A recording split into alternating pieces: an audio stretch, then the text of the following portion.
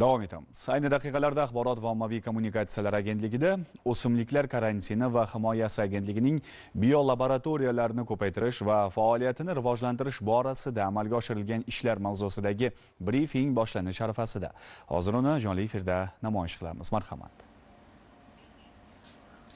Assalomu alaykum bahor mavsumi qishloq xo'jaligida zarur agrotexnik va biologik kurash tadbirlarini amalga oshirish uchun sermahsul davr aynan shu faslda o'simlik zarar kunandalariga qarshi kurash tadbirlarini Э, birinchi bosqichi amalga oshiriladi. Mazkur tadbirlarning o'z vaqtida va to'g'ri tashkil etilishi hosildorlik garovidir ma'lumot o'rnida qayd etish joiz davlatimiz rahbarining 2021 yil 15 iyuldagi o'zbekiston respublikasi o'simliklar karantini va himoyasi agentligini tashkil etish to'g'risidagi qarori bilan aynan biologik qarshi kurash usullarini sohaga keng joriy qilish va o'simliklar klinikalari va biolaboratoriyalar tizimini rivojlantirish vazifalari yuklatilgan.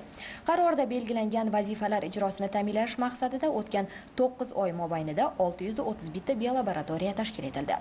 Eng ko'p biolaboratoriya andijon xorazm qashqadaryo viloyatlarida faoliyat yuritib kelmoqda.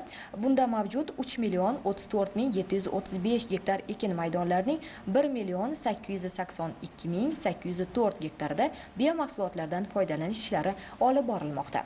Ikki ming yigirma ikkinchi yilda ekin maydonlarida biologik kurashdan foydalanishni kengaytirish va yuqori hosildorlikka erishish maqsadida o'tgan yilning noyabr oyidan boshlab uch ming olti yuz qirq olti million dona brakan yetti ming bir yuz sakson to'qqiz kilogramm trixogramma va to'rt ming to'qqiz yuz oltmish yetti million dona oltin ko'z entomofaglari ya'ni foydali hasharotlar yetishtirilgan. Biomahsulotlarning narxi klaster va fermer xo'jaliklari uchun kimyoviy vositalarga qaraganda hamyonbopligini hamyonbopligini alohida ta'kidlash lozim. Misol tariqasida keltiradigan bo'lsam bir dona oltin ko'z tuxumi narxi taxminan 15 so'm. 1 gramm trixogramma taxminan 3579 so'm. Bir dona braka narxi taxminan 35 so'mni tashkil qiladi.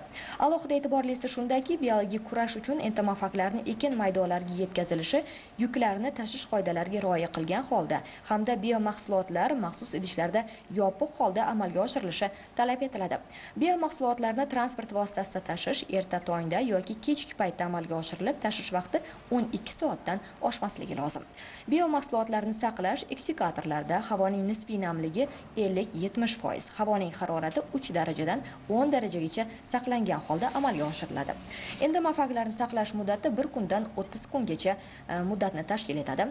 Biomahsulotlarni foydalanishning qator afzalliklari mavjudligini alohida qayd etish joiz. Birinchidan biomahsulotlar xavfsiz va ekologik toza kurash vositasi. Ya'ni ular inson organizmi va atrof muhitiga zarar yetkazmaydi.